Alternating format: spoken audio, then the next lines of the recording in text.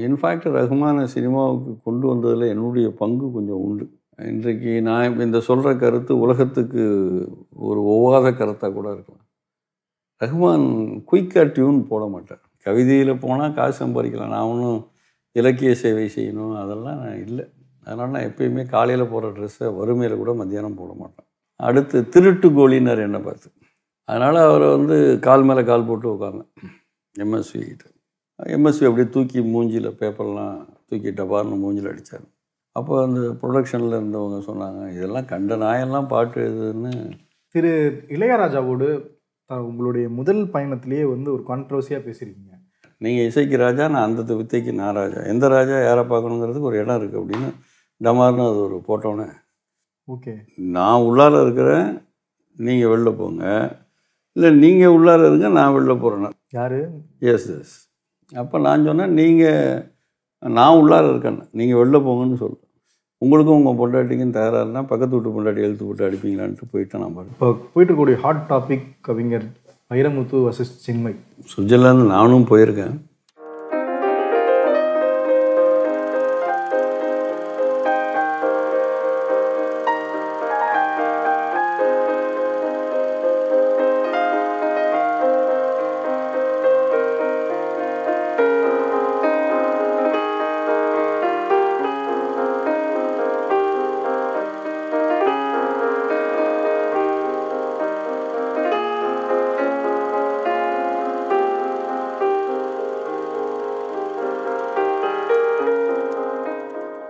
உங்களிடை பிறந்து உயர்ந்தோர் தல விளங்கி வீங்கொலி நீர் ஞாலத்து இருளகற்றும் ஆங்கவற்றுள் மின்னேர் தனியாழி வெங்கதிரோன் ஏனையது தன்னேர் இல்லாத தமிழ் என்று சங்ககால புலவன் பாடி மகிழ்ந்த அன்னையாம் தமிழை வணங்கி. அன்பிற்கினிய ஆதன் மீடியா நேயர்கள் அனைவருக்கும் வணக்கம். இது உங்கள் பிரசன்சர் வித் கெவின். இந்த நிகழ்ச்சியில் நம்ம எப்போவுமே ஒரு செலிபிரிட்டியை பார்ப்போம். அவரை பற்றி பேசி அவர் கூட நம்ம நிறைய உரையாடி தெரிஞ்சுக்கும் இன்னைக்கு யார் நம்ம கூட பேசுறதுக்காக வந்திருக்கா அப்படின்னு பார்த்தீங்கன்னா கவிஞர் கண்ணதாசன் வாலி அவர்கள். இவங்க பீரியடில் சககால கவிஞராக உள்ள நுழைந்து ஏறக்குறைய இத்தனை ஆண்டு காலமாக இன்றளவும் ஒரு கவிஞராக அதை தாண்டி ஒரு பேச்சாளராக ஒரு நடிகராக தன்னை நிரூபணப்படுத்தி கொண்டு மிகச்சிறிய ஒரு அடையாளமாக தமிழுக்கு ஏற்ற ஒரு அடையாளமாக இருக்கக்கூடியவர் தமிழக அரசினுடைய விருதுகளை பெற்றவர் கபிலன் விருது பெற்றவர் அப்படின்னு சொல்லக்கூடிய மிக பெருமைகளை மிக்க கவிஞர் பிறைசூடன் ஐயா அவர்கள். வணக்கம் ஐயா. வணக்கம். என்னுடைய நிகழ்ச்சிக்கு வந்து சிறப்பு செய்கிறதுக்கு ரொம்ப நன்றி. இதை நான் எழுதும் போதே எனக்கு கையெல்லாம் உதறிச்சு. ஐயோ கவிஞருக்கு போய் நம்ம கவிஞர் எழு கவிதை எழுதுறோமா? என்ன சொல்லுவார்? அப்படின்ற யோசனையில தான் எழுதுனேன் பட் இருந்தாலும் என்னோட நிகழ்ச்சியினுடைய அந்த மரபுகளை மீறாம ஏதோ என்னால் முடிஞ்ச ஒரு நாலு வார்த்தைகள். தப்பாக நினச்சிக்காதீங்க ஐயா. ஒன்றும் இதில் இல்லை. சமைக்கிறவனுக்கும் பசிக்கும்ல. அது யாரோ ஒருத்தவங்க சமைச்சதை அவன் சாப்பிட்டு தானே ஆகணும் அந்த கவிஞன் இன்னொரு கவிதையை விரும்ப மாட்டான்னு எப்பயும் சொல்ல முடியாது. உன் பெயரில் இருப்பது பிறை. நீ முதல் முதல் பாடல் எழுதிய படம் சிறை. நீ எழுதிய வெத்தலை போட்ட சோக்கில் எழுதிய நேக்கில் பிடிச்சு போச்சு ஃபஸ்ட்டு டேக்கில். செம்பருத்தி உன் பெயர் சொல்லும் சோழ பசுங்கிலியே என்றும் மக்கள் மனதில் நில்லும். உனக்கு பெயர் கொடுத்தது மீனம்மா அது இனித்தது தேனம்மா. மீனம்மா போகுமோ என்றும் வீணம்மா. காரணம் எழுதியது பிறை சூடனெனும் கோமானம்மா. பிறை சூடனே பாடல் எழுதும் வேடனே. வாழ்கனி பல்லாண்டு காண்கனி பல பிறை சிறப்பு சிறப்பு. நல்லா இருக்கு. நல்லா இருக்கு. நல்லா அதிகாரம் இல்லாமல் இருக்கலாம் அலங்காரம் இல்லாமல் இருக்கலாம். மற்றவர்களை எவன் அங்கீகரிக்கானோ அவன் தான் நல்ல கலைஞனாக இருக்க முடியும். அது எப்பொழுதும் இந்த குறையோடையே ஒன்றை பார்த்தா எல்லாத்துலேயும் நிறை தெரியாது. ஆங்கிலத்தில் சொல்லுவாங்க faults is thick when love is thin faults is thin love is thick அதனால் இது மாதிரி நாங்கள் எழுத ஆரம்பித்து தான் பலருடைய அவமானங்களையும் வெகுமானங்களையும் தாண்டி தான் நாங்கள் ஒரு ஒரு இடத்துக்கு வந்தோம். அதனால் தொடர்ந்து எழுதுங்க வெற்றி பெறும். ரொம்ப நன்றி ஐயா.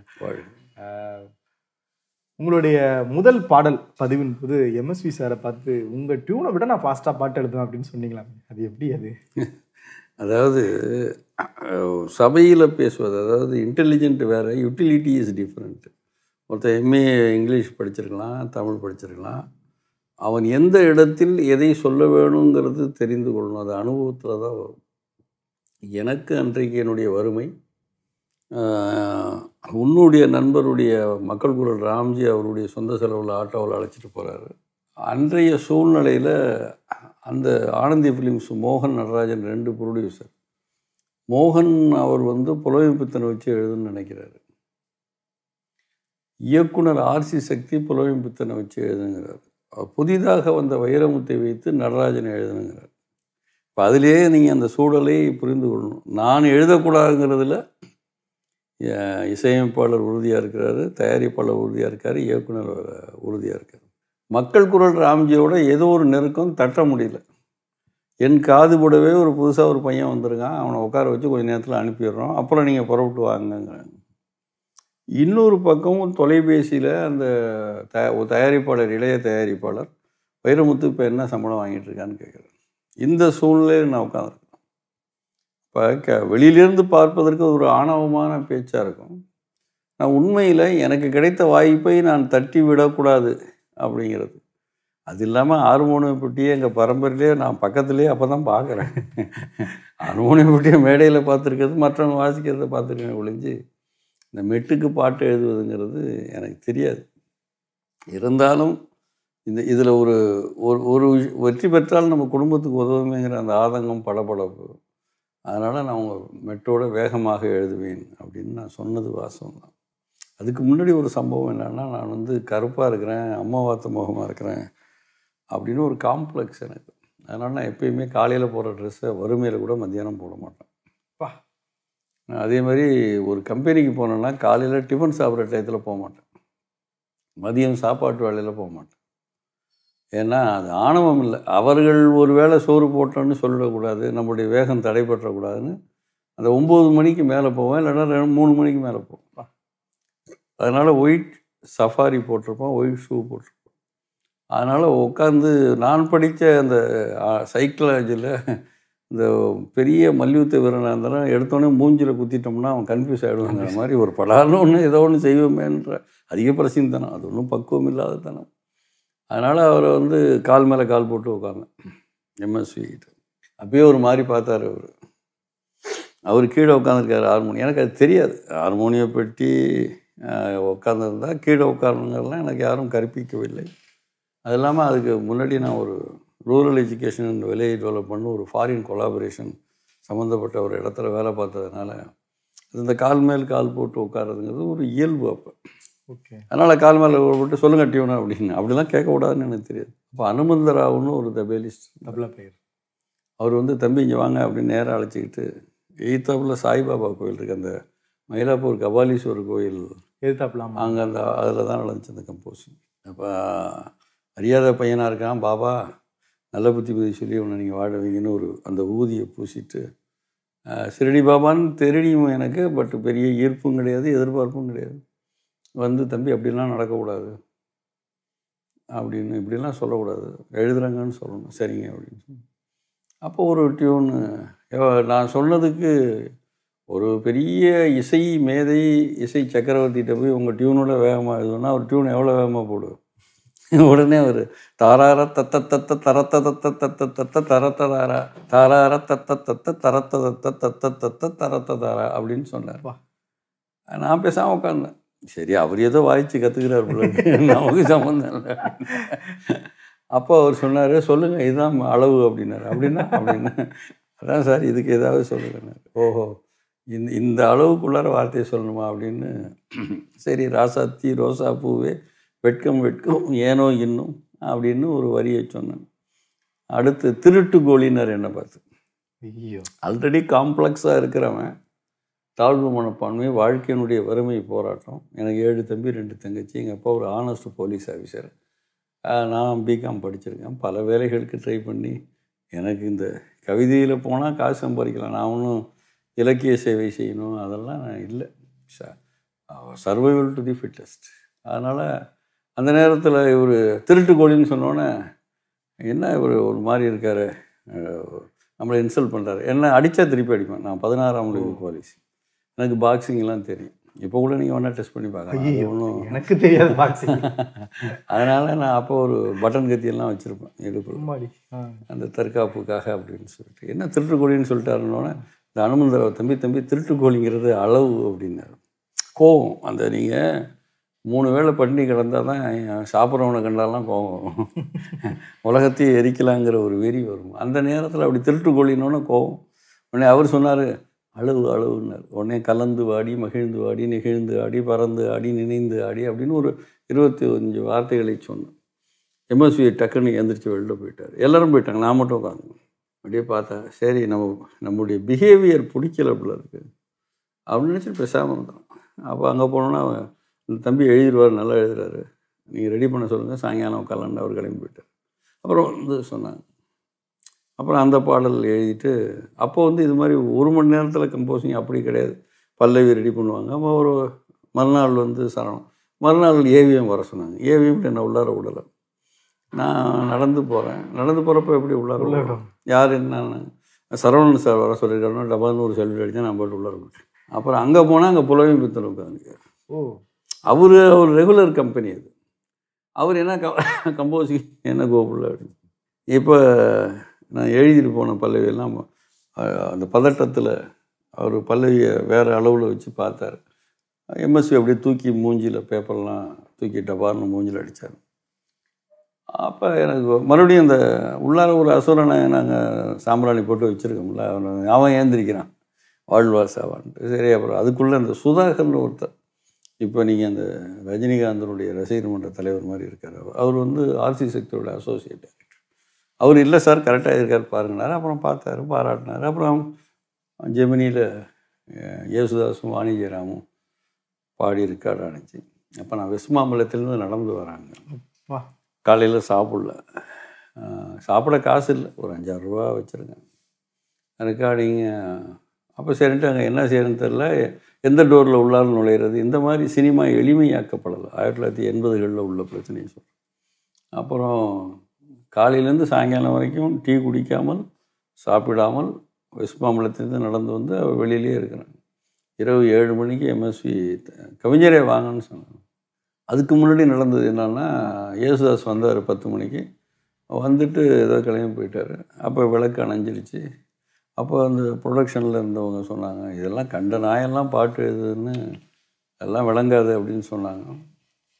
நான் இதெல்லாம் எதுக்கு பதிவு செய்கிறேன்னா அடுத்த தலைமுறை கவிஞர்களுக்கு இதுக்கு முன்னாடி வெற்றி பெற்றவர்கள் நிறைய அவமானங்களை சந்தித்து தான் வந்திருப்பார்கள் சொல்லி அப்போ திடீர்னு ஒருத்தர் கூப்பிட்டாரு சார் இது இவங்களுக்கெல்லாம் மாலை போடணும். ஏதாவது நீங்கள் வாங்கிட்டு வாங்கன்னா எனக்கு ஒன்றும் தெரியல. சென்னை அதிகமாக பழக்கம் இல்லை.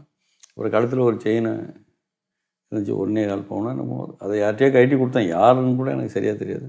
ஆனால் அவர் கொஞ்சம் நல்ல மனுஷன். ஏன்னா மூணு மாலையை மட்டும் வாங்கி கொடுத்தாரு. மிச்ச பணத்தையும் கொடுக்கல. அதுக்கப்புறம் அவர் ஆளை காணோம். அப்புறம் அதை போட்டேன். அப்புறம் மறுபடியும் ஏசுதாஸ் மறுபடியும் அவர் பாம்பே அப்போ எனக்கு அது மாதிரி விமானத்தில் காலையில் பாம்பே போயிட்டு திருப்பி இரவில் வர்றதுங்களோட கூட தெரியாது. ஓ. ஓ எனக்கு பாம்பே எவ்வளோ தூரம்னு தெரிஞ்சால் தானே நான் இதை பற்றிலாம் யோசிக்க முடியும். அவர் காலையில் விமானத்தில் போய் அங்கே ரெண்டு பாட்டு பாடிட்டு மறுபடியும் மாலையில் வந்து இங்கே இருக்காடியில் வந்துட்டேன் அப்படி யேசுதாசும் வாணிஜரம் பாடினாங்க. அந்த மாலையை ஏ எம்எஸ்விக்கு போட்டுட்டு நான் யார் காலையும் விட மாட்டேன். சில சம்பிரதாயங்கள். நான் ஆதீனத்தில் படித்ததுனால சில உபதேசத்தினால தாய் தந்தை குரு கால் தவிர வேற காலம் அப்புறம் எம்எஸ்வி காலில் விழுந்தேன். அது அப்படியே பாதியில் தூக்கி எடுத்து அந்த மாலையை எனக்கு போட்டார். அந்த பாடல் நூறு நாள் ஓடுனுச்சு. அதில் எடுத்த புகைப்படத்தை இந்த நிமிஷம் வரைக்கும் அவங்கள்ட்ட கேட்டு தோத்துட்டேன் நான். கொடுக்கல. அதுக்கப்புறம் நான் என்ன நினச்சேன்? நம்ம தான் நம்பர் ஒன்று இனிமேல் கண்ணதாசன் விட்டு வாலியை விட்டு வைரமுத்தை விட்டு அப்படி நம்ம தான் எஸ்டேட் வாங்குறேன்னு ஒரு மூணு வருஷம் கதவை காலங்காட்டி திறந்து வச்சு சாம்பரெல்லாம் போட்டு ப்ரொடியூசர் வராங்க தயாரிப்பாளர் வராங்கன்னா அப்புறம் தான் சினிமா நம்ம தேடி போனால் தான் வரும். அது நம்மளை தேடி வராது. அந்தளவுக்கு வெற்றி இருந்தால் தான் வரும்னு நினச்சி திரும்ப வாழ்க்கை பயணத்தை திரும்பி ஒரு மூணு வருஷம் கழித்து ஆரம்பிச்சு. இப்போ ஒரு நானூறு ஐநூறு படம் பாட்டு பாட்டு திரு இளையராஜா அவர்களை சந்தித்த அனுபவம். இளையராஜா வந்து நான் நேரடியாக சந்திக்கலை. ஆனால் இளையராஜாவை பாடல் பற்றி அவருடைய எதிர்காலத்தை பற்றி எதையாவது ஒன்று பேசிட்டு அவர் சார்ந்த ஒரு ஒரு அஞ்சாறு பேர்கிட்ட சொல்லி அனுப்புவோம். கோகுலகிருஷ்ணான்னு ஒரு ரைட்டர் அவருடைய பிஏ சவுந்தர்னு ஒருத்தர் அவர் இப்போ ஜக்கி வாசுதேவ்கிட்ட இருக்காரு. அது மாதிரி அவர்கிட்ட நெருக்கமானவர்கள்ட்ட அந்த இளையராஜா அந்த சாமுத்திரிகா லட்சணம் அவர் அப்படி ஒன்று அப்படின்னு ஒன்று சும்மா டம்முன்னு போட்டு விடுறது. அப்புறம் அந்த பாடல் இது அப்படி இருக்காரு யார்ட்டையாவது விசாரிச்சு எனக்கு சங்கீதம்லாம் தெரியாது. அந்த சண்முக பிரியாவில் ஒன்று போட்டிருக்கா பாருங்க. சூப்பருங்க. அப்படின்னு கரெக்டாக கன்ஃபார்ம் பண்ணி நாலு பேர்கிட்ட கேட்டுக்கிறது. இது சண்முக பிரியாதான் அப்படி அவர்கிட்ட சொல்கிறது அப்போ அந்த சவுந்தர் சொல்கிற அந்த பிரைசூடன் ஒருத்தர் சொன்னார் சார் நீங்கள் ஒரு சித்தரா ஞானியா? எதையா ஒன்று சொல்லி போடுறது இப்படி அவராக டென்ஷனாக ஒரு ஆறு மாதமாக திரும்ப திரும்ப பிரைஸுடன் ஒரு வார்த்தை மட்டும் கால விடுவோம். பிக்சரில் நான் இல்லை. அவர் யார் யார் அவர் வர சொல்லியாருன்னா நான் ஏன் வரணும்? மியூசிக் டேரக்டர் பாட்டு கொடுக்கிட்டு வரட்டும். வேறு வழி இல்லாமல் ஒரு டியூனை கொடுத்து. எனக்கு கண்ணுக்கு ஒரு வண்ணக்கிளின்னு ஒரு படம். அது கொடுத்து அனுப்புனாங்க. நான் ஒரு முப்பது பல்லவி முப்பது சரணம் எழுதிட்டு போனேன். காலையில் சிக்ஸ் தேர்ட்டிக்கெல்லாம் வந்துடணும்னு கோகுலகிருஷ்ணன் வசனகர்த்தா அவர் தான் காலமாயிட்டார் அவர் அழைச்சிட்டு போனார். இளையராஜா அப்படி வந்தார். வணக்கம் அப்படின்னு. வணக்கம். யார் நீங்கள் என்னார்? கவிஞர் பிரைசுடன் அப்படின்னு. கவிஞரா இல்லையான்னு நானில் சொல்லணும். அப்பா. அப்படின்னு அவர் சொன்னார். இல்லை சார் கவிஞரா இல்லையான்னு நான் தான் சொல்லணும். கவிதையே நீங்கள் டெஸ்ட் பண்ணி பார்க்கலாமே ஒழிஞ்சு கவிஞருங்கிறது எனக்கு தானே தெரியும். நான் ரெப்ரசன்டேட்டிவா ப்ளம்பரா எலக்ட்ரிஷியனானு எப்படி உங்களுக்கு தெரியும்? அதனால் நான் கவிஞர் பேசுவேன் அது அந்த வார்த்தை அப்படியெல்லாம் அந்த சமஸ்தானத்தில் அப்படி பேசக்கூடாதுங்கிறது எழுதாத மரபு மரபு நான் நானாகவே இருக்க விரும்பினேன் அது சொன்னோன்னே முறைச்சி பார்த்துட்டு அப்படியே போனார். அப்புறம் திரும்பி இந்த கோகுலேஷன் இப்படி கஷ்டப்பட்டு உருவாக்கின வாய்ப்பை கெடுத்துட்டிங்களே யானை தான் தலையில் மண்ணாவரி போட்ட மாதிரி அப்படின்னாரு. சார் அதெல்லாம் இல்லை.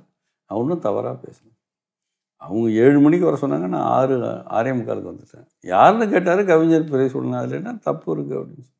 நான் பாட்டு ஜாலியாக கூலாக இருந்தேன். எப்பயுமே என்கிட்ட ஒரு பழக்கம். நான் தவறு பண்ணலன்னா ரொம்ப ஜாலியாக இருப்பேன். அதுக்கு அதுக்குள்ள தண்டனை வந்துச்சுன்னா அதுங்க கவனம் அப்புறம் ஒரு அரை மணி நேரம் ஒரு மணி நேரம் கழித்து கூட்டம் அனுப்புனார். எங்கே பல்லவியை காட்டுங்கனாரு ஒரு ஃபைல் போட்டு முப்பது பல்லவி முப்பது சொன்னேன் ஏன் இவ்வளோ இருக்கீங்க எதனாலையும் மிஸ் ஆகக்கூடாதுன்னு. என்னை பற்றி ஏதோ சொன்னீங்களாமே. ஆமாம் இன்னும் உங்களுக்கு நியூமராலஜி ஜோதிடம்லாம் தெரியும்னு சொன்னீங்களாம். கொஞ்சம் கொஞ்சம் தெரியும். எங்கே சொல்லுங்கள் பார்ப்பேன் இல்லை சார் நீங்கள் இசைக்கு ராஜா நான் அந்த வித்தைக்கு நான் ராஜா. எந்த ராஜா யாரை பார்க்கணுங்கிறதுக்கு ஒரு இடம் இருக்குது அப்படின்னு டமார்னு அது ஒரு போட்டோன்னே. சரி அப்படி பாட்டு இருக்கா நீங்கள் நினச்சி? மனோவும் சுசிலாவும் துளி துளி மழையாயின்னு ஒரு பாட்டு. அது ரெக்கார்ட் ஆனோன்னா உடனே ரூம் கூப்பிட்டாரு. நான் அந்த ஆன்மீக கருத்துக்களை ஒரு ரெண்டு மணி நேரம் பேசினேன் கேட்டார். உடனே அடுத்த டியூனை கொடுத்தாரு. அது லதா மங்கேஷ்கர் அதே படத்தில் பாடுற மாதிரி ஒரு பாட்டு. இதில் ஹைலைட் என்னென்னா அந்த படம் இன்றைக்கு வரைக்கும் வெளியில் வரல. லதா இங்கே பொன்வீனே எங்கே சங்கீதம்னு லதா மங்கேஷ்கர் பாடியும். முதல் பாட்டு இளையராஜாட்ட சுசிலா அம்மாவும் மனோவும் பாடியும். அந்த படம் இன்று வரைக்கும் ரிலீஸ் ஆகலை. பாட்டு யூடியூப்பில் அது இதெல்லாம் போட்டாங்க. ஸோ அப்படி அப்புறம் அதுக்கப்புறம் அவர்கிட்ட ஒரு பத்தாண்டுகளுக்கு மேலே நிறைய படங்கள் பாட்டு எதுனா உண்மையாகவே நான் பிரபலமானதுக்கு இளையராஜா ஒரு மிகப்பெரிய நூறு சதவீத காரணம். அதாவது நமக்கு வந்து நம்ம கேட்கக்கூடிய நிறைய பாடல்களுக்கு இவர் தான் கவிஞரா அப்படின்னு தெரியாமே நிறைய பாடல்கள் கேட்டிருக்கோம். அவ்வளோ பெரிய ரன்னவே ஹிட்ஸ் அப்படின்னு சொல்லக்கூடிய பாடல்கள்லாம் வந்து ஐயா அவர்கள் எழுதியிருக்காங்க. திரு இளையராஜாவோடு த- உங்களுடைய முதல் பயணத்திலேயே வந்து ஒரு கான்ட்ரவர்சியாக பேசியிருக்கீங்க. உங்களுக்கும் அவருக்கும் அடிக்கடி கான்ட்ரவர்சியாக நிறைய கருத்து வேறுபாடுகள் வரும் அப்படின்னு கேள்விப்பட்டிருக்கோம். இது உண்மையா? உங்களுடைய பாடல்களில் அவர் தலையிடுவது அப்படிங்கிற அளவுக்கு எல்லாம் வரும் அப்படின்னு கேள்விப்பட்டிருக்கேன் இது உண்மையா? இல்லை உண்மைதான். என்னன்னா இப்போது அங்கே இளையராஜா மனம் புண்படக்கூடாது அப்படிங்கிறது ஒரு நடைமுறை. இப்போ அவர் உதாரணத்துக்கு ரெண்டு வரி பாடிடுவார். ஏதோ ஒரு அந்த டூப் வார்த்தைன்னு சொல்கிறது ஆமாம் அதை வந்து அது அது வந்து சமயத்தில் ஒரு ஒரிஜினல் போயிட்ட காட்டிலும் நூறு இரநூறு விடுக்காடுகள் சிறப்பாக இருக்கும்.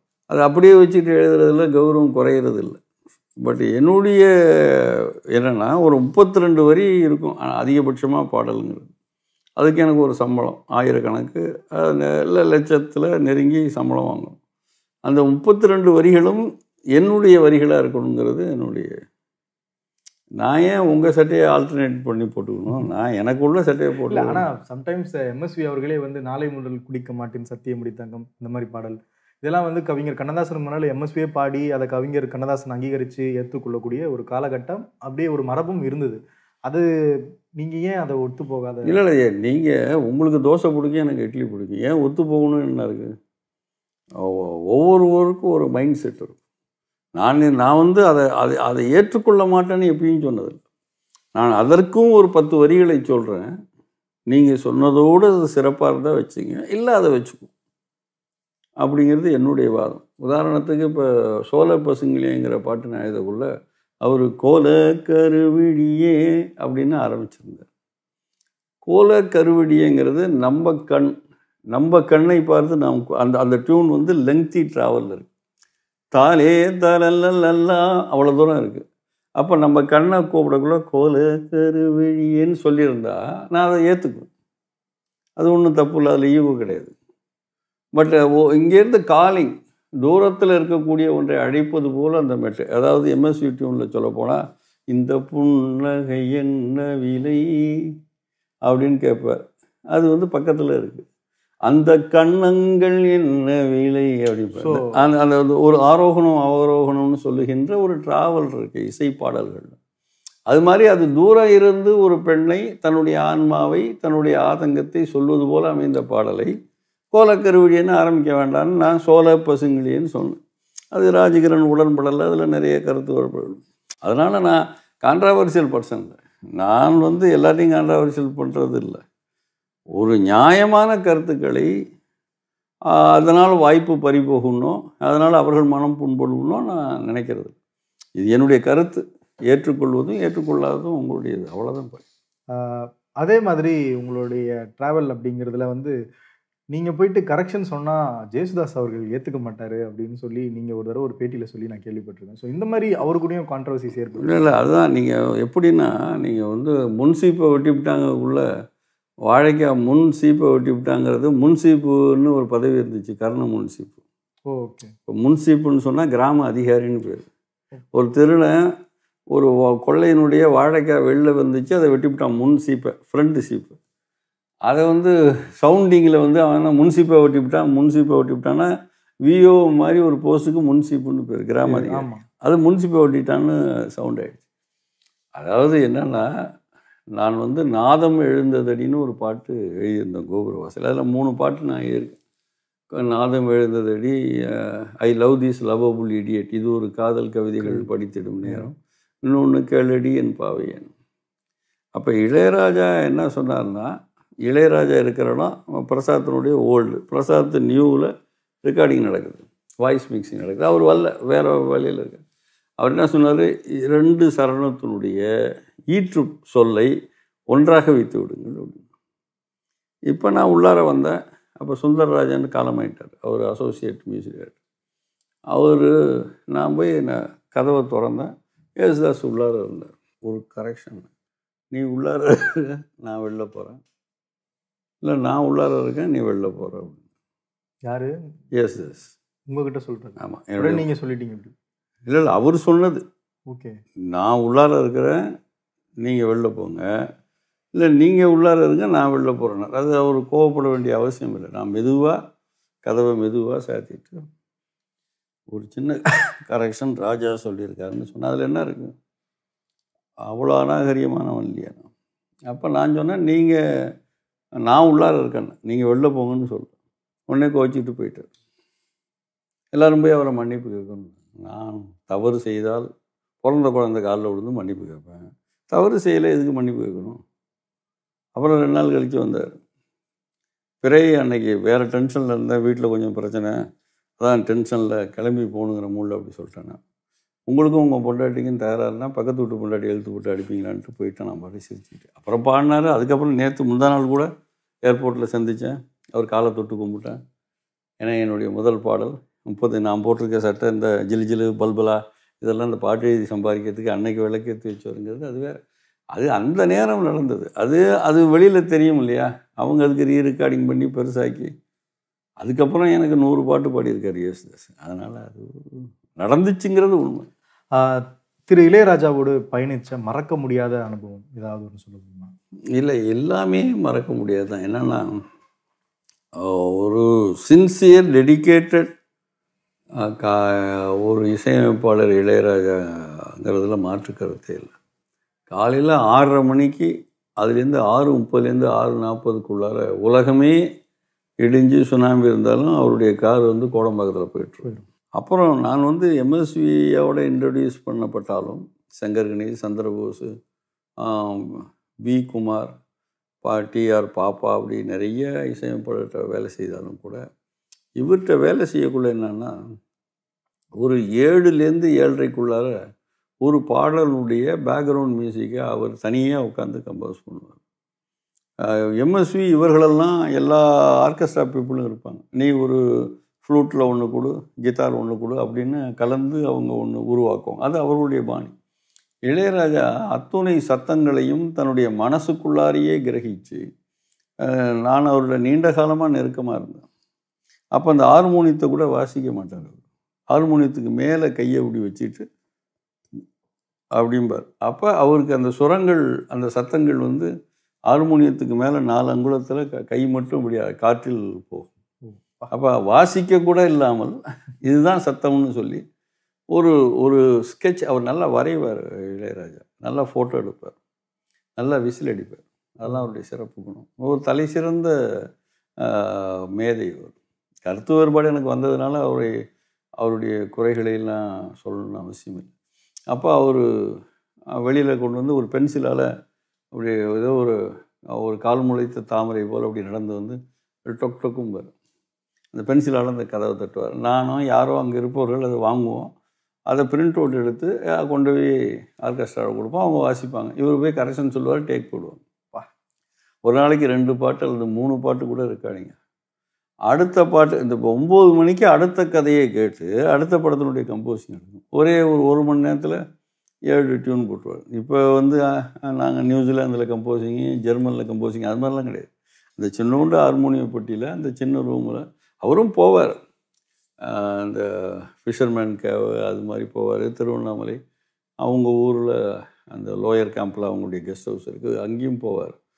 பட் அது வந்து ஒரு ஒரு ரிலாக்ஸேஷன் மாதத்தில் ஒரு நாள் ஒரு முப்பது நாளும் ஒர்க் பண்ணுறதுக்காக போவார் ஒழிஞ்சு அவர் தொட்டால் உடனே டியூன் அவ்வளோதான் அப்படி ஒரு மிகப்பெரிய மேதை அவர். ரஹ்மான் சார் கூட ஒர்க் பண்ணிருக்கீங்களா? ரகுமானும் அனுபவம். நானும் ஒரு பத்தாண்டுகள் விளம்பரத்தில் ஒன்றா வேலை செய்தோம். இன்ஃபேக்ட் ரகுமானை சினிமாவுக்கு கொண்டு வந்ததில் என்னுடைய பங்கு கொஞ்சம் உண்டு. அதை ரகுமான் எங்கேயும் சொன்னதா எனக்கு ஞாபகம் இல்லை. காரணம் ஒரு சினிமாவுக்கு வர விரும்பலை. அதுதான் முக்கியமான பாயிண்ட்டு வர விரும்பலை இன்றைக்கு நான் இந்த சொல்கிற கருத்து உலகத்துக்கு ஒரு ஒவ்வாத கருத்தாக கூட இருக்கலாம். ரஹ்மான் குயிக்காக டியூன் போட மாட்டார். இந்த சாலிடார் டிவிக்கெல்லாம் விளம்பரம் நான் தான் ரெகுலராக எழுதுவேன். அதே மாதிரி அவரும் நானும் நிறைய விளம்பரம் ஒர்க் பண்ணியிருக்கோம். என்னென்னா ஒரு ஒரு ஒரு மூடு கேரக்டர் இப்போ நம்ம காலையில் ஏழு மணி குளிச்சு கிழிச்சிட்டு போகிறோம் அந்த ப்ரொடியூசர் நானும் போகிறோம் அவர் எட்டு மணிக்கு எழுந்திரிச்சா எட்டு மணிக்கு எழுந்திரிப்பார் ஆறு மணிக்குன்னா ஆறு மணிக்கு ஒரு எக்ஸென்ட்ரிக் அவர். ஸோ அதனால் வருவார் வந்து ஒரு இந்த ஒரு ஒரு கூட நான் இந்த ஊஞ்சல் மாதிரி இருக்கும் உட்காந்துருப்பார் சரி அப்புறம் வச்சுக்கலாம் பாரு. ஒன்று இப்போ இந்த இந்த சினிமா அப்படி இல்லை. இது கையில் காசு வாயில் தோசை. இன்றைக்கி பாட்டு இருக்காடா அவர் அது அவர் அவருடைய சிஸ்டம் ஆஃப் ஒர்க் அதுக்கப்புறம் ஒரு ஒரு ஒரு சின்ன கருத்து வேறுபாடு எப்படி வந்துச்சுன்னா முதல் பாட்டு படம் அவருக்கு வந்துச்சு. அவர் அதுக்கு அப்பயே ஒரு அஞ்சு லட்ச ரூபா சம்பளம் வாங்குற அளவுக்கு விளம்பரத்தில் நம்பர் ஒன்றா இருந்தார். அதனால் அவருக்கு ஒரு தயக்கம். இதை விட்டுட்டு சினிமாவுக்கு போகணுமா அப்படின்னு. ஸோ அவர் கூட நீங்க விளம்பரத்துல நிறைய ஒர்க் பண்ணிட்டீங்க நிறைய ஒர்க் பண்ணியிருக்கேன் நீங்க பாடல்லாம் எழுதி கொடுப்பீங்க விளம்பரத்துக்கு. ஆமாம் விள என்னுடைய வேலை அவர் போகிற டியூனுக்கு பாட்டு எழுது அது ஒரு ஆயிரத்தி ஐநூறுரூவா ரெண்டாயிரரூவா அவ்வளோதான் கிடைக்கும். பட் அப்பயே ஒரு ஒரு நாலஞ்சு லட்ச ரூபா சம்பளம் வாங்குற அளவுக்கு மிக பிஸியாக இருந்தார். ரெண்டு தியேட்டர் அப்பயே கட்டிட்டார். மிக நல்ல ஒழுக்கமான பையன். நான் எவரி ஜனவரி ஃபஸ்ட்டு அவர் ஒரு ஒரு ஒரு இடத்துல சந்திப்பேன் தர்காவில் நான் சினிமாவை பற்றிலாம் பேச மாட்டேன். ஆன்மீகம் அது இது பேசி நல்லா இருக்கு நல்லா இருக்கு அவங்க அம்மா சகோதரிகள் குடும்பத்தார் எல்லாரும் பழக்கம் எனக்கு. அவருடைய குருநாதர்லாம் எனக்கு பழக்கம். இதில் என்னன்னா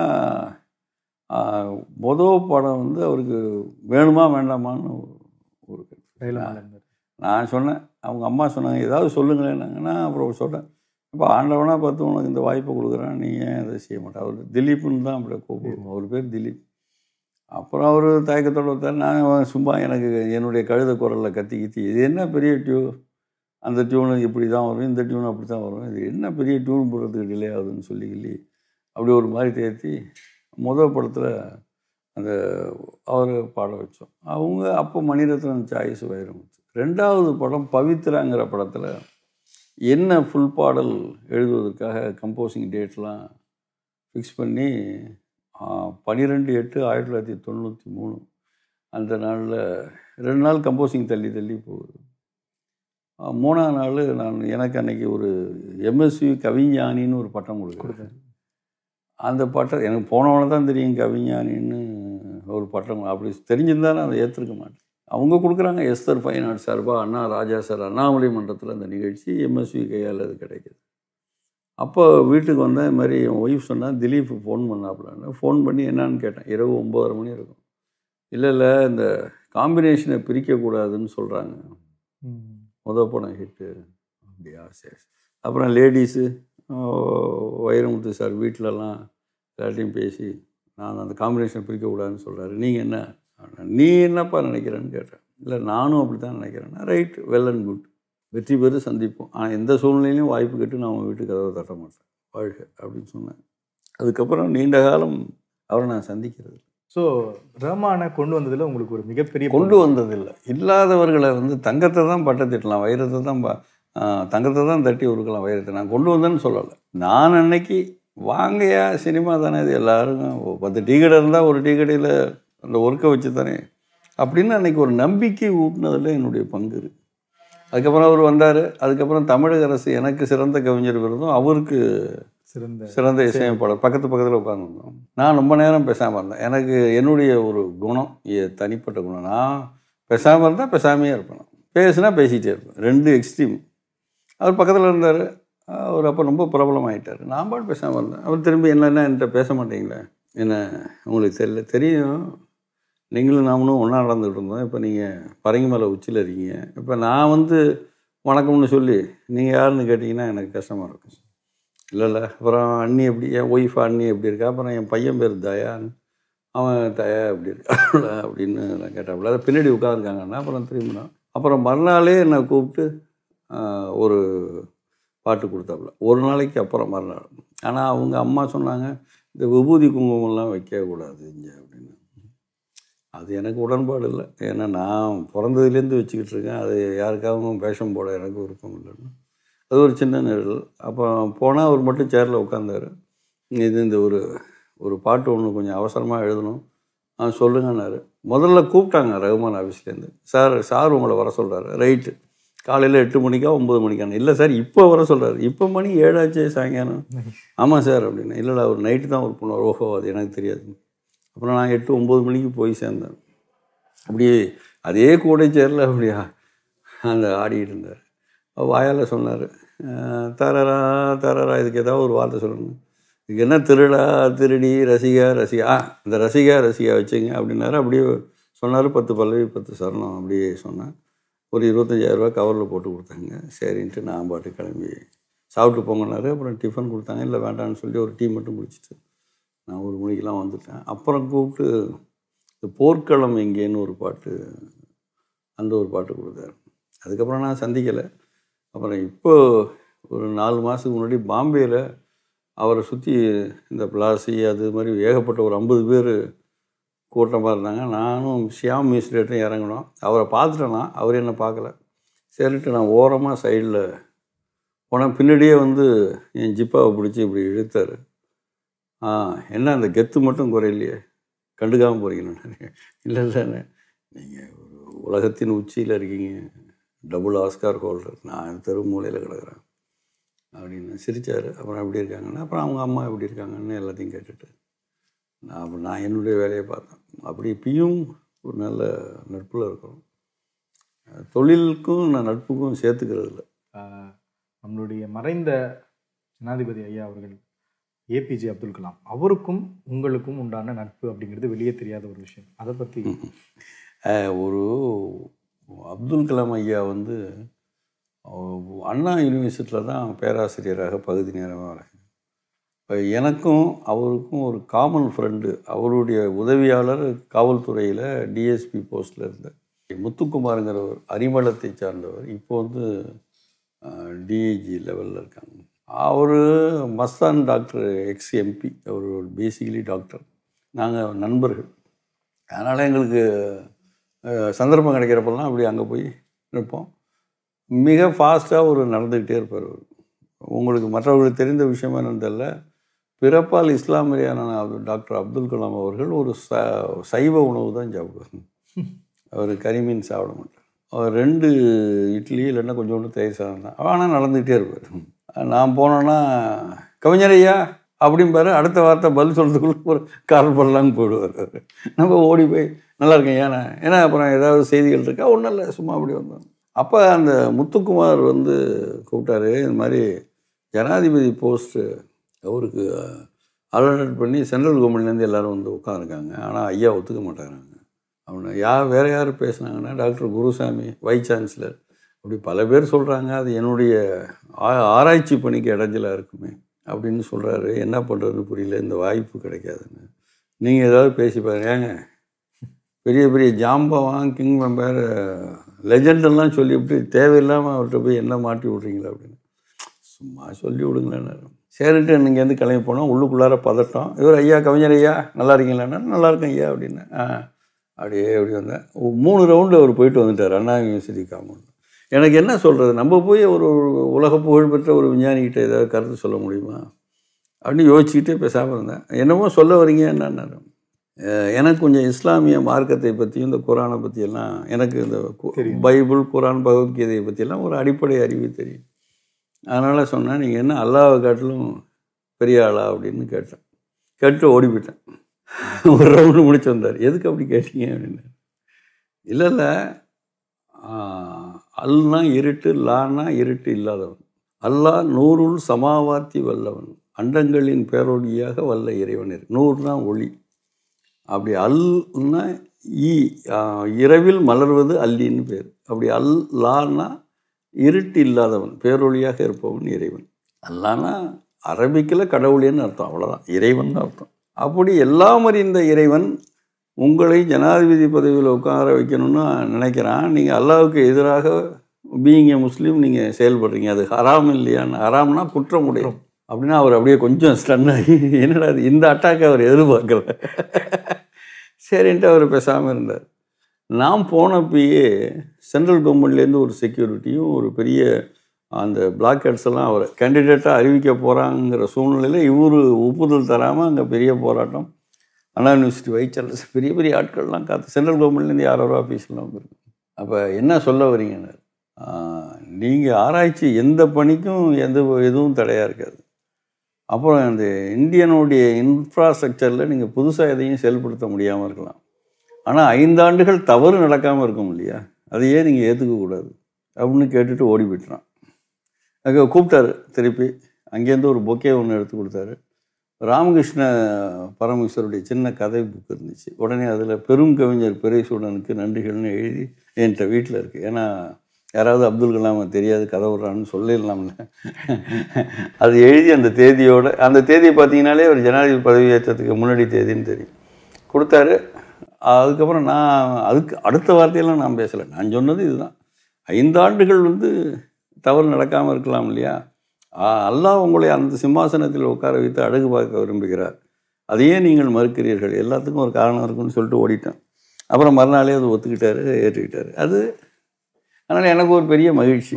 நம்மளும் அந்த அந்த ஒரு எத்தனையோ பெரியவர்கள் சொன்னதில் நான் ஒரு பொடியன் இந்த அணில் மாதிரி ஏதோ ஒன்று சொல்லியிருக்கேங்கிறதுல எனக்கு ஒரு பெரும். இப்போ போயிட்டு இருக்கக்கூடிய ஹாட் டாபிக் கவிஞர் வைரமுத்து வசிஷ் சின்மை இவங்க ரெண்டு பேர் இதில் என்ன நடக்குது? நீங்கள் ஒரு கவிஞரா? இதை எப்படி பார்க்குறீங்க அதாவது ஒரு சுவிட்சர்லாந்து நானும் போயிருக்கேன். பட்டு இரு நிகழ்ச்சி சூழ்நிலைகள் அதெல்லாம் எனக்கு தெரியாது. சென்மையே என் பாடலும் பாடியிருக்காங்க. வைரமுத்து சாரோட எனக்கு ஒரு சற்று ஏறக்குரிய முப்பத்தைந்து ஆண்டுகளாக பழக்கம் உடையவர்.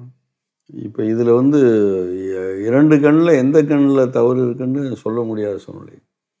இருந்தாலும் ஒரு மிக உயரத்தின் உச்சியில் தமிழ்நாட்டினுடைய மிகப்பெரிய பெருமையாக அவர் இருக்கிறார். அதே மாதிரி இந்த அம்மா பல மொழிகளில் மிகப்பெரிய வெற்றியில் இருக்கிறாங்க. அப்படி இதுவும் ஒரு கருத்தை சொல்லக்குள்ள ஏன் அவருக்கும் வைரமுத்துக்கும் உள் பகையோ வேறு எந்த கருத்து ஒருவள் இருக்கிறதுக்கு வாய்ப்பு இல்லை. ஏன்னா அவர்கள் நிறைய ஒன்றாக பயணித்திருக்கிறாங்க. அதனால் இது அவருடைய அந்தரங்கம் சம்மந்தப்பட்டதில் போய் நம்ம கருத்து சொல்கிறதுல ஏதாவது ஒரு நூல் நமக்கு தெரிஞ்சிச்சுன்னா துணிந்து அதில் ஒப்புதல் சொல்லணும் ஆனாலும் தெரியாமல் யாருமே தன்னுடைய காழ்ப்புணர்ச்சியை ஒருவர் பெற்ற வெற்றியை வந்து இதை வைத்து கொண்டு பறிக்கிறதுல எனக்கு உடன்பாடு இல்லை. அது வேறு ஏதோ அவருடைய கருத்துக்கள் ஆன்மீகத்தை புண்படுத்தினார் அப்படிங்கிறதுலையும் எனக்கு உடன்பாடு இல்லை. இந்த ஊர் ரெண்டு பட்டா கூத்தாடி கொண்டாட்டங்கிற மாதிரி இப்போ கூத்தாடிகள் ரெண்டு பேர் ரெண்டு பட்டதுனால ஆளாளுக்கு ஒரு ரெண்டு வரி எழுத முடியாமல் ரெண்டு வரி பாட முடியாதவர்கள்லாம் இதில் கருத்து சொல்கிறாங்க தவறுகள் நடந்திருந்தால் திருத்திக்கலாம். அதில் ஒன்றும் பெரிய தப்பு இல்லை. ஒரு மனிதனுடைய வாழ்க்கையில் ஒரு ஒரு தவறுகள் நடந்திருக்கலாம். அதை வந்து வெளிப்படுத்தி நூறு சதவீதம் இது என்னன்னு சொல்லி புகழில் இருக்கக்குள்ள நம்மளை அசைச்சு பார்க்குற எந்த விஷயத்துக்கும் யாரும் இடம் கொடுக்கக்கூடாது நீங்கள் வந்து உங்களுடைய பார்வையில் பெரியார் எப்படி? கவிஞர்கள் எல்லாருமே வந்து ஒரு திராவிட கொள்கை சார்ந்தவர்களாக தான் நிறைய இருக்காங்க. ஆனா நீங்க இன்றளவும் ஒரு ஆன்மீகவாதியாவே இருந்துகிட்டு வரீங்க. இது எப்படி சாத்தியப்படுது? இல்லை ஒரு ஆன்மீகங்கிறது உங்களுடைய பார்வையில பெரியார் உண்மையை சொல்ல போனால் என்னுடைய தந்தை காவல்துறையில் இருந்தப்ப அப்போ வந்து காங்கிரஸ் ஆட்சி. அப்போ எங்கள் அப்பா பெரியாருடைய தீவிரமான விசுவாசி. அதனால் நான் குழந்தையா இருந்தப்ப பெரியார் கையில் கொடுத்து எனக்கு ஒரு பேர் வைக்க சொல்லிட்டாப்புல பெரியார்கிட்ட பப்ளிக் மீட்டிங்கில் அதுக்கு அவர் பெரியார் எனக்கு சித்தார்த்தன்னு ஒரு பேர் வச்சார். அப்போ அன்றைய அரசாங்கம் எங்கள் அப்பாவுக்கு நோட்டீஸ் அனுப்பி வேலையை விட்டு நீக்க போகிறேன்னு சொல்லி நோட்டீஸ்லாம் கொடுத்தது. அது அப்புறம் அவர்கள் என் மனைவி கொடுத்தா இப்படி எங்கள் அப்பா அப்படி அந்த தஞ்சை மாவட்டத்தில் நாத்திகவாதிகள் நிறைய எல்லாம் எல்லாம் பாதிக்கப்பட்டவர்கள் நசுக்கப்பட்டவர்கள். இந்த பிராமணிசத்தை எதுக்கணும் அப்படின்னு அது ஒரு அது எதுக்கு கற்பிக்கப்பட்டதுங்கிறத காட்டிலும் ஒரு இனம் புரியாத வெறுப்புணர்ச்சிகளில் தான் எல்லாரும் வளர்க்கப்பட்டார் நான் எங்கள் அப்பா காவல்துறையில் இருந்தப்போ ஒரு மூணு மாதத்துக்கு ஒருத்தப்ப எங்கள் அப்பாவை எங்கேயாவது மாற்றி போடுவாங்க நாங்கள் மூட்டை முடிச்சோட ரெடியாக இருப்போம். லஞ்சம் கிஞ்சம் வாங்க மாட்டார். யூனிஃபார்ம் போட்டால் எங்கள்கிட்டயே பேச மாட்டார். இப்போ நான் ஊர்லேருந்து வந்தேன்னா ம் அப்படிம்பார். எங்கள் அப்பா எனக்கு தெரிஞ்சு ஒரு பத்து ரூபா ஒரு பக்கோடா வாங்கிட்டு வந்து கொடுத்ததா எனக்கு நினைவே கிடையாது. இங்கேருந்து மெட்ராஸ் போவார். ஒரு டியூட்டியாக நாங்கள் தஞ்சாவூர் மாவட்டம் நன்னிலம். அப்போ திரும்பி வந்து அங்கே ஒரு பத்து ரூபாய் எடுத்து கொடுத்து போய் காராமந்தி வாங்கி சாப்பிடுங்க ஏன்னா யூனிஃபார்மோட ஒரு போலீஸ்காரர் அந்த கடைக்கு போனால் அவன் இலவசமாக கொடுப்பாங்கிறதுக்காக அப்படி அப்படி ஒரு நேர்மை. அந்த நேர்மையினால் எங்களுடைய வாழ்க்கையில் வறுமைங்கிறது நிரந்தரமானதாக இருக்கும். நிரந்தரமானது. அப்படின்னா அந்த ரேஷன் அரிசி எங்கள் அப்பாவும் பணக்காரர் எங்கள் அம்மாவும் பணக்காரர்கள் காலச்சூழல் ரெண்டும் எனக்கு உதவலை. அதனால் அப்போ எனக்கு ஏழு தம்பி ரெண்டு தங்கச்சி. அப்போ பத்து பேருக்கு அந்த அரசு சம்பளம் கிம்பளம் இல்லாமல் வாழ்கிறது மிகப்பெரிய போராட்டம். அதனால் நான் சின்ன வயசுலேயே ஏதாவது ஒரு காய்கறி போடுறது பத்து ரூபா சம்பாதிக்கிறது வாழைப்பழம் வாங்கி வியாபாரம் பண்ணுறது காய்கறி வியாபாரம் பண்ணுறது அந்த கடைகளில் உட்காந்து போலீஸ் ஸ்டேஷன் பக்கத்தில் உட்காந்து பெட்டிஷன் எழுதி கொடுத்தா ரெண்டு ரூபா கொடுப்பாங்க. அந்த கிராமத்தில் இருக்காரவங்க ஏதாவது சொல்கிறது அப்படி ஏதாவது ஒரு பத்து ரூபா இருபது ரூபா சம்பாதிக்கணுங்கிற நிர்பந்தம். ஸோ அந்த அந்த சூழ்நிலையில் நாங்கள் வளர்ந்து வர்றதுனால எங்களுடைய வாழ்க்கை ஒரு பிரின்சிபலாக இருக்கணும் நியாயமாக இருக்கணும். எந்த போராட்டம் வறுமைக்கு கீழே என்ன போராட்டம் வந்துருக்கும்? அதனால் அப்படி இருந்ததுனால அப்போ எதிர்பாராமல் எங்கள் அப்பாவை மாற்றக்குள்ள திருவாவூர் ஆதீனம் பள்ளியில் நான் படிக்க வேண்டிய சூழ்நிலை வந்துச்சு.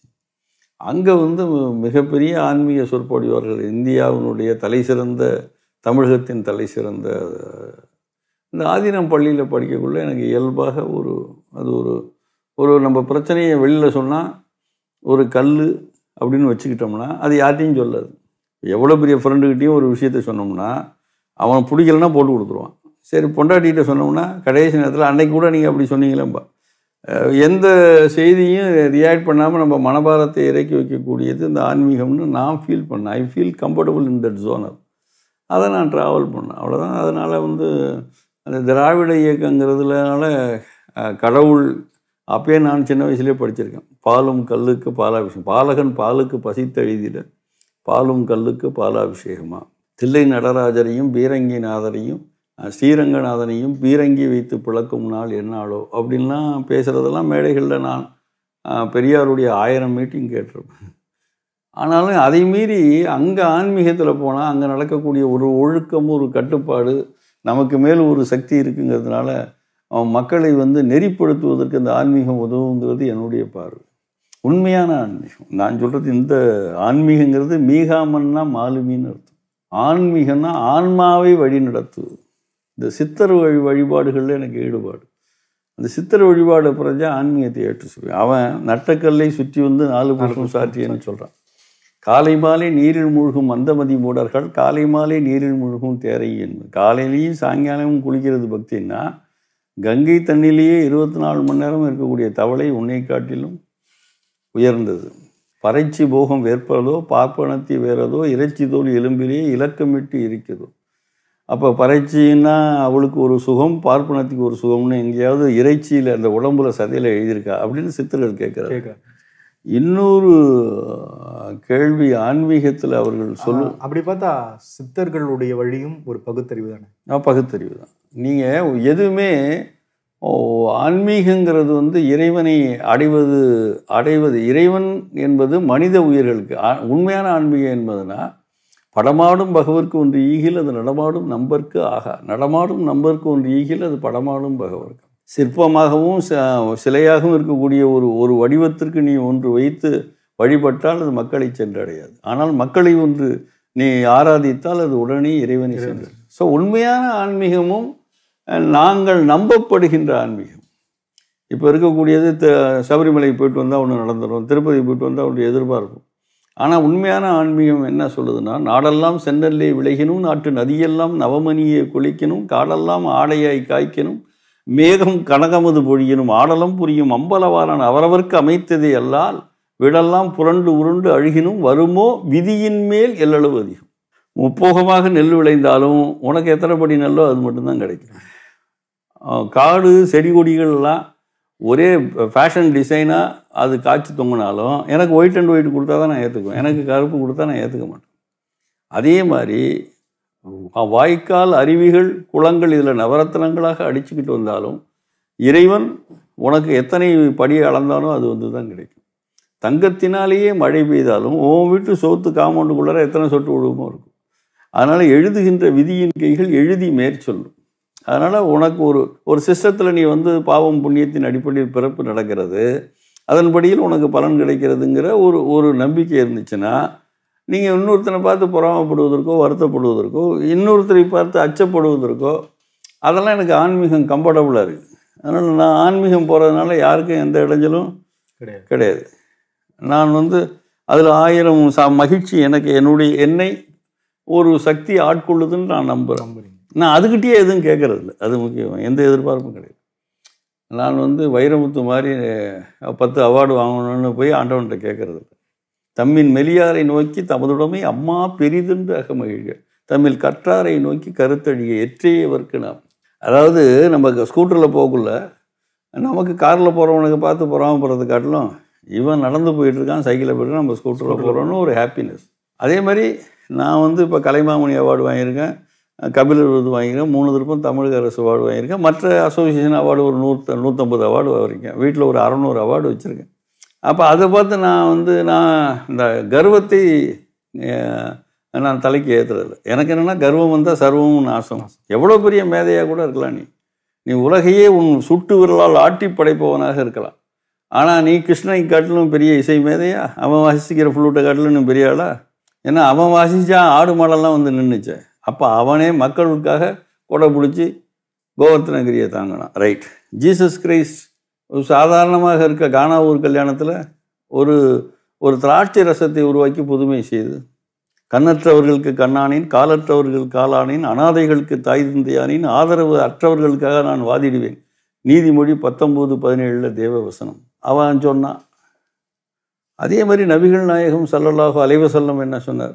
இஸ்ராயல்னு சொல்லப்படக்கூடிய அல்லது இறைசக்தி வந்து நபியே உம் என்று சொல் இவர்களை அழித்து விடுகிறேன்னு சொல்லக்கூட இவர்களை அழித்து விட்டு நான் யாருக்காக உழைக்க போறேன்னு கேட்குறாரு அப்போ காட்டரபிகளுக்காக இரக்கம் காட்டிய நபிகள் நாயகம் செல்லல்லா குலேஸ் வாடுகின்ற மக்களெல்லாம் வேலையை விட்டுட்டு ராமர் ஊரில் ஊர்வலம் வரக்குள்ள அவர்களை வணங்கக்கூட நான் தான் உங்களை வணங்க வேண்டும் இந்த தேசத்திற்காக உழைக்கிறீர்கள் உங்களுடைய காவலன் நான் அப்படின்னு சொன்ன ராமன் அப்படி அவதாரமாக மதிக்கப்படுகின்ற இறைவன் அல்லது இறை தூதர்களே மக்களை நோக்கி சொல்லக்குள்ள மக்கள்லேருந்து மாறுபட்டு நான் நான் யார் தெரியுமா? அப்படின்னு சொன்னீங்கன்னா அது எனக்கு உடன்பாடு இல்லை. இதே எனக்கு ஆன்மீகம் கற்றுக் கொடுத்துச்சு அதனால் ஆன்மீகம் என்பது யாதனின் யாதனின் நீங்கியா நோதல் அதனின் அதனின் இல்லை இதை விட்டுறலாமா அதை விட்டுறலாம்ங்கிறது எதெல்லாம் விட முடியுமோ அதை விட்டுறது. எளிமை பணிவு கனிவு அன்பு இதுதான் ஆன்மீகம். சரி ஆன்மீகத்துக்காகவே தனியாக ஒரு ஷோ நடத்தலாம் போல. அவ்வளோ விஷயம் சொல்கிறீங்க ரொம்ப அருமையாக இருந்துச்சு ஐயா இப்போ டப்பு டப்புன்னு ஒரு சில பத்து நான் கேட்குறேன் அவங்கள பற்றி நீங்கள் கடகடன்னு சொல்லுங்கள் கலைஞர் ஐயா அவர்கள். கலைஞரை பற்றி நான் சொன்ன வரிகளை சொன்னால் அஞ்சுகத்தாய் கருக்குவளை அமிழ்தை சுமந்தது. ஐந்து முறை திருக்குவளை அரசை சுமந்ததுன்னு நான் எழுதியிருந்தேன். அதை திருப்பி கலைஞர் கூப்பிட்டு பிறகு அது என்னப்பா அந்த கவிதை என்ன சொன்னார்? திரும்ப அவர்கிட்ட சொன்னேன் அஞ்சுகத்தாய் கருக்குவளை அமிழ்தை சுமந்தது. ஐந்து முறை திருக்குளவை திருக்குவளை அரசை சுமந்தது. கலைஞரோட எனக்கு ஒரு நாற்பது ஆண்டுகள் பழக்கம். அவரோட ஒரு படம் நான் பாட்டு எழுதியிருக்கேன். அப்புறம் அவ ஒரு சின்ன ஒரு உதாரணம் நேரம் இருந்தால் அனுமதிச்சே சொல்கிறேன் இப்போ தஞ்சாவூர் மாவட்டத்தில் ரெண்டு பிரிவு உள்ளவர்கள். ஒருவர் பரம்பரை காங்கிரஸ்காரர் இன்னொரு திராவிட கழகம். இப்போ எங்கள் அப்பாலாம் பரம்பரை காங்கிரஸ்காரர். அப்போ எனக்கு கலைமாமணி விருது தொண்ணூற்றி ஆறில் கொடுக்குறாங்க. அப்போ நான் சொல்கிறேன் அப்பா இது மாதிரி அரசாங்கம் கலைமாமணி விருது கொடுத்துருக்குப்பா நீங்கள் வரணும். இந்த மூணாக்கான ஃபங்க்ஷனுக்கெல்லாம் நான்லாம் வரல அப்படின்ட்டு. அது அவன் தஞ்சாவூர் மாவட்டத்தில் அது அது அது மூணாக்கானன்னு சொல்லுவது ஒரு வழக்கம். அப்புறம் எங்கள் அம்மாட்ட சொல்லி எங்கள் அப்பாட்டெல்லாம் நாங்கள் நேராக பேச மாட்டோம். அப்படி அப்படியே வளர்ந்தோம். அப்புறம் அம்மாட்ட சொல்லி ஏம்மா முத முத பரம்பரையில் கலைமாமணி வாங்குறேன் அப்பா வர சொல்லுமா? அப்புறம் ஏதோ பேசி கீசி வருவதாக ஒத்துக்கொண்டார். ஒரு சங்கடத்தோடைய வேண்டாத ஃபங்க்ஷன் தன் பையன் கலைமாமணி வாங்குவதை காட்டிலும் அவங்களுடைய கொள்கை தான். கொள்கை முக்கியம். அவங்க ஆமாம் இங்கே தான் கலைஞர் மாறுபடுகிறாருங்கிறதுக்கு சொல்லுவேன் இப்போ மேடையில் அறிவிச்சுக்கிட்டே வராங்க. இந்த ஒரு பல ஒரு இருபத்தஞ்சி பேர் கொடுக்குறாங்கன்னு வைத்துக்கொள்வோம் எல்லாருக்கும் கொடுத்துட்டே வரக்குள்ள ஒரு வர்ணனையாளர் சொல்லிட்டு வராங்க. இவங்க என்ன சாதனை செய்தார் கலைஞர்?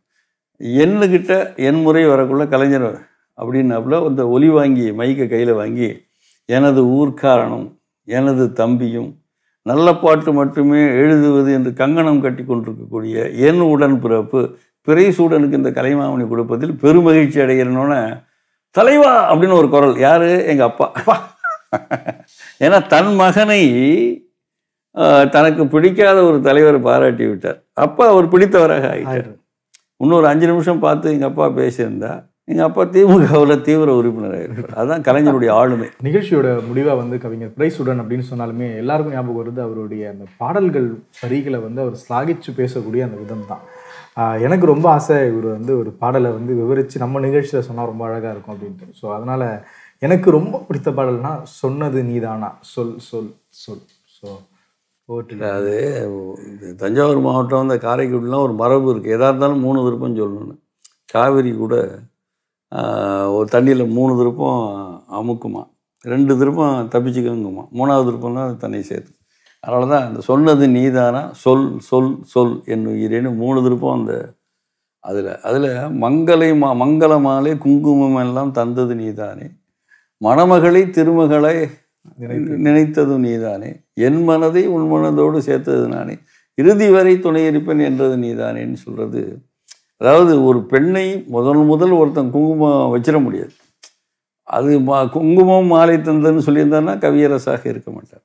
அவர் அதை மாலை இட்டதுக்கப்புறம் முதல் மாலை இட்டதுக்கப்புறம் தாலி கட்டினதுக்கப்புறம் அடுத்த சடங்கு என்னன்னா அந்த குங்குமத்தை மாப்பிள்ளையுடைய வலது கையில் வைத்து பெண்ணுடைய தோள்பட்டையிலேருந்து அவ வைக்கிறதுங்கிறது. அதை வகைப்படுத்தி சொல்லுக வருகின்ற கவியரசு கண்ணதாசன் அடுத்த வரி மணமகளை திருமகளாய் இந்த வீட்டினுடைய மகாலட்சுமியாக ஏற்றுக்கொண்டவன் நீதான். அப்போ அடுத்து தமிழ் பண்பாடு முதலில் மனது உடன்படாவிட்டால் உடல் ஒன்றுபடாது. இப்போ உடல் ஒன்றுபடுது மனது வேறுபடுது. அதான் பிரச்சனைக்கே காரணம். கோர்ட்டு விவகாரத்து பல்வேறு பிரச்சனைகள். இன்றைக்கு அந்த பிரேக் ஆயிடுச்சு. Just like that breakup break back பண்ணிட்டேனா அவ்வளோதான் நான் ஆகிட்டேன் நான் இப்போ வேறு சாட் பண்ணிகிட்டு இருக்கேன் அப்படிங்கிற மாதிரி. அப்போ அதுக்கு காரணம் மனதை அதில் தான் கம்பன் சொல்லுவான். சொல்லுவான். அண்ணலும் நோக்கினால் அவளும் நோக்கினாள் அப்படின்னு சொல்லக்கூடியது நோக்குதல் வேறு பார்த்தல் வேறு. பார்த்தல்ங்கிறது ஒரு பெண்ணை ஒரு ஆண் ரசித்தது. நோக்குதல்ங்கிறது எடை போடுதல் அப்போ என்னுடைய பரம்பரையை கட்டி காக்கின்ற ஆணழகனாக இருப்பானா இவன் அப்படின்னு அவ எடை போட்டு பார்க்குறா. ஒரே பார்வையில் ராமன் எடை போட்டு என்னுடைய அயோத்திய சாம்ராஜ்யத்தினுடைய மகாராணி ஆகுவதற்கு இவள் தகுதியுடையவளான்னு கம்பன் சொல் நோக்குதல் வேறு பார்த்தல் வேறு. அதுக்கு தான் யார் நோக்க நிலம் நோக்கும் நோக்காக்கால் தான் நோக்கி மெல்ல நகும்னு வள்ளுவன் சொல்லுவான். அதை உணர்ந்த கண்ணதாசன் தெய்வத்தின் மாலை தெய்வத்தின் மார்பில் சூடிய மாலை தெருவிலே விழலாமா? தெருவினிலே விழுந்தாலும் வேறொரு கை தொடலாமா? அந்த நாலு வரியில ஒரு கதையை அதே படத்துல இன்னொரு இடத்துல சொல்லுவார். வருவாய் என நான் தனிமையில் நான் நின்றிருந்தேன். வந்தது வந்தாய் துணையுடன் வந்தாய். துணைவனை காக்கும் கடமையும் தந்தாய் அப்படின்னு சொன்னார். அது வரைக்கும் கண்ணதாசன் தேவையில்லை. யார் வேணாலும் சொல்லலாம். காதலிச்சவன் வேற ஒருத்தனுக்கு போய் காத்திருக்கான் டாக்டரா? இப்போ வேற ஒருத்தனை கல்யாணம் முடிச்சிட்டா அவனுக்கு கேன்சரு அந்த டாக்டர்கிட்டே வைத்தியம் பார்க்க வரான். அப்போ எழுதுறார் வருவாய் என நான் தனிமையில் நின்றேன் வந்தது வந்தாய் துணையுடன் வந்தாய் துணைவனை காக்கும் கடமையும் தந்தாய். அது நார்மல் அது எல்லா கவிஞனும் எழுதுறது. தூயவளே நீ வாழ்க. என்னைக்காவது ஒரு நாள் என் மனைவி எல்லை மீறி இருப்பாளோ நகத்தை தாண்டி அவன் தொட்டு இருப்பானோன்னு நினைக்கக்கூடாது. மீட்டு பிரச்சனை எல்லாம் வந்துடக்கூடாதுங்கிறதுக்காக கண்ணதாசன் என்ன சொல்கிறாருன்னா தூயவளே நீ வாழ்கன்னு ஒரு என்டார்ஸ் பண்ணுறார் அதனால தான் நான் அவரை பற்றி எழுதக்குள்ள சொன்னேன். என் குருநாதன் கவியரசு கண்ணதாசன் பிறப்பால் ஒரு வணிகன். வணிக குடும்பம் செட்டியார் குடும்பம். ஒரு வணிகன் கவிஞனானான் தமிழ் வாழ்ந்தது. இன்றைய கவிஞர்கள் எல்லாம் நான் உள்பட வணிகனானோம் தமிழ் வீழ்ந்ததுன்னு ரொம்ப அருமையான நிகழ்ச்சி ஐயா உங்களை பற்றியும் மற்றும் நீங்கள் உங்களுக்குள்ள இருக்கக்கூடிய அந்த ஒரு ரௌத்திரம் பழகு அப்படின்னு பாரதி சொல்வார். கோபம் வேறு ரௌத்திரம் வேறு. ஆறுவது சினம் வேற. பட் ரௌத்ரம் அப்படிங்கிறது நமக்கு தேவை அப்படிங்கிறதுல ஐயாவுடைய வாழ்க்கையில் எந்த ஒரு த தருணத்துலையும் நம்முடைய சுய கட்டுப்பாடு மற்றும் நம்முடைய அந்த செல்ஃப் ரெஸ்பெக்ட்னு சொல்லக்கூடிய அந்த தன்னம்பிக்கை கௌரவத்தை விட்டுடக்கூடாது அப்படிங்கிறது தான் ஐயாவுடைய வாழ்க்கையில் ஒரு பாடமாக படிச்சிருக்கோம். ஐயா நிறைய விஷயங்களை நம்மோடு பகிர்ந்துக்கிட்டார். இன்னும் நிறைய விஷயங்கள்லாம் இருக்குது ஐயா கூட பேசுறதுக்கு. காலமும் நேரமும் சூழ்நிலையும் கொடுத்தால் மீண்டும் ஒரு சந்தர்ப்பத்தில் ஐயாவை சந்திப்போம் அப்படின்னு சொல்லிட்டு உங்களிடமிருந்து விடைபெறுவது உங்கள் கெவின். நன்றி. வணக்கங்க. உங்களெல்லாம் சந்திச்சதில் பெரும் மகிழ்ச்சி. நீங்கள்லாம் வாழ்த்தினா தான் நாங்கள்லாம் வாழ முடியும். நீங்கள் கை தட்டினா தான் தயாரிப்பாளரும் இயக்குனரும் எங்கள் வீட்டு கதவை தட்டுவாங்க. இருந்தாலும் நான் உங்களுக்கு சொல்லுகிறது தன்னிலை தாழாமையும் அந்நிலை தாழ்ந்தக்கால் உயிர் வாழாமையும் மானம் எனப்படும். நம்ம யாரையும் புண்படுத்த வேண்டாம். யாரையும் அவமதிக்க வேண்டாம். நம்மளை யாரும் அவமதிக்க விட வேண்டாங்கிறது தான் என்னுடைய கொள்கை. நன்றி வணக்கம். மீண்டும் உங்களை சந்திக்கிறேன்.